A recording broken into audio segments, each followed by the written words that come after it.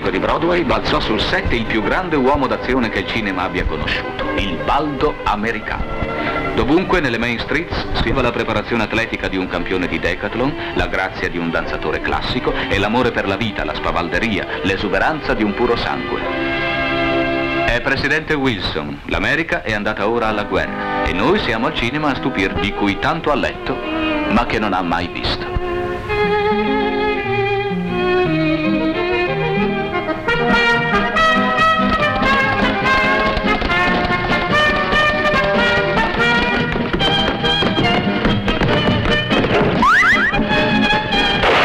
Padre di Douglas, un magnate ferroviario, manda a chiamare il figlio ammazzasette. L'esagitazione di Des ha un motivo. Oggi finalmente andrà nel West, nelle terre riarse, nel regno degli indiani, a Rio Amaro, nell'Arizona, per l'approvazione di una nuova linea ferroviaria richiesta dalla cittadinanza. A quei tempi, come vedete, l'America non era ancora tormentata dal problema della servitù.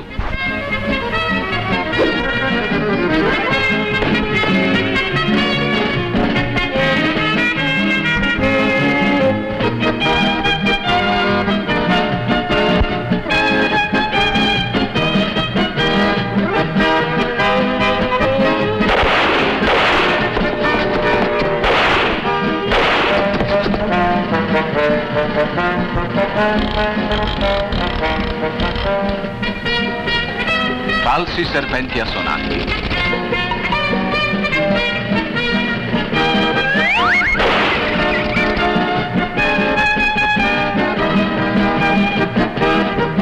Battista, dice Douglas, non dureresti due settimane contro Nube Rossa.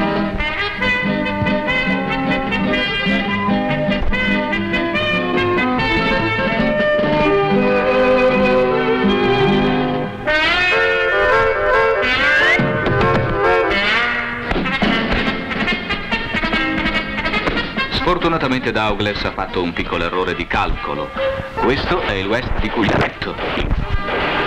E questo è il levigato lindissimo West del 1917, verso il quale è diretto lui vestito da cowboy di maniera. Ma gli scaltri cittadini vogliono la linea e informati di moderna metropoli a quello di una scottantissima cittadina di frontiera. All'Ignaro sarà offerta una riedizione del vecchio West, così aderente alla realtà da non permettere dubbi.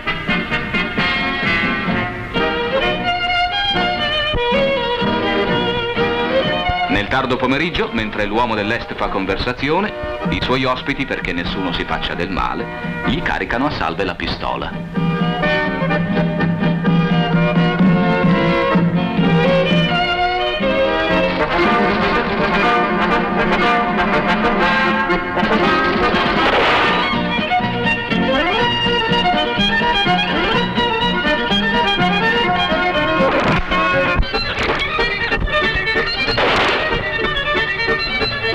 La dama di Douglas alla grande festa è la dolce Genevieve, la bella figlia del sindaco, l'attrice Eileen Pearce. Bianco raduna gli indiani e li sprona a saccheggiare la città.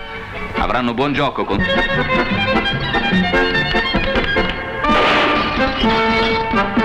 Qualcosa è andato storto. Nessuno aveva previsto nella recita una sparatoria vera.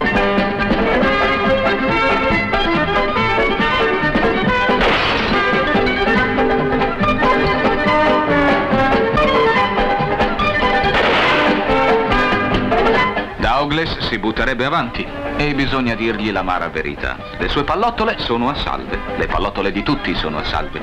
Gli si voleva dare un'immagine del vecchio West. C'è stato un imprevisto e sono tutti in trappola. Ma Douglas ricorda di avere le pallottole vere su nel baule. Nessuno si è mai nemmeno provato ad imitare l'abilità di Fairbanks nel condire il dramma con la ginnastica. Thank you.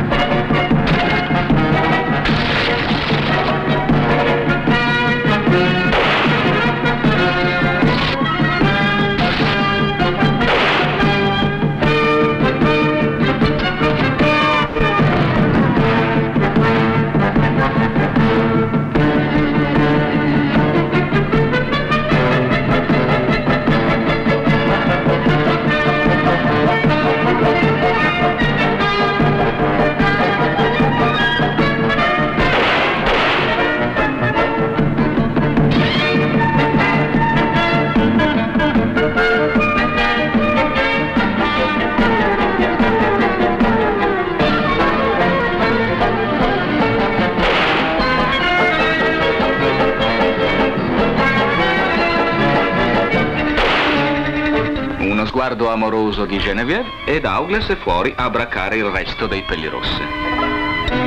L'immagine di Fairbanks, quella di un americano spavaldo, simpaticone e pieno di risorse, dell'uomo d'azione dall'eterno sorriso, era destinata a far solida presa su tutto il mondo.